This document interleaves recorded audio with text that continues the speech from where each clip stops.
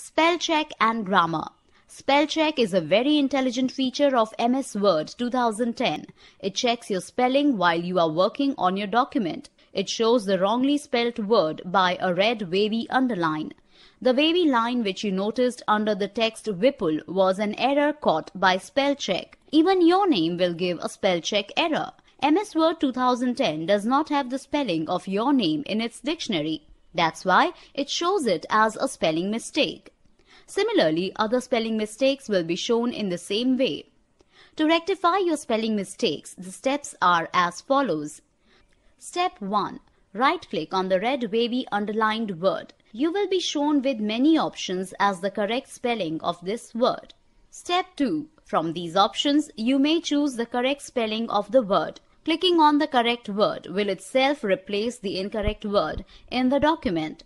Here, alignment is an incorrect word and gave a spell check error. Choose alignment as a correct word. There is also one more option as add to dictionary shown in the option list. This may be used in case of your name. You can add your name to dictionary so that MS Word 2010 may not give a spell check error to your name in future. Just like the spell check, MS Word 2010 also looks for the grammar of text blocks. This is another intelligent feature of MS Word which helps you to identify incorrect sentences.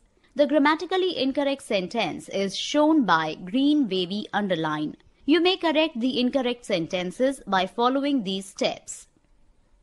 Step 1. Right-click on the green wavy underlined sentence you will be provided with the possible correct sentence. Step 2.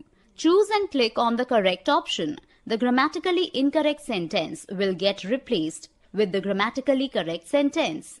There is one more way to spell and grammar check your document. The steps to spell and grammar check are as follows.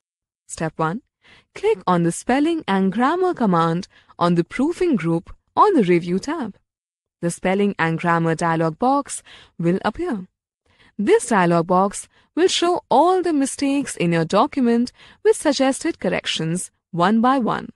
Step 2. Select the correct suggestion and click on the Change button to rectify your document. Clicking on the Change All button will change that incorrect word or sentence in the complete document. You may ignore the mistake by clicking on Ignore Once button at one place and on clicking on Ignore All in the whole document. Using Thesaurus in addition to spell checking and grammar checking tools that MS Word 2010 offers, there is also the word thesaurus to improve the documents.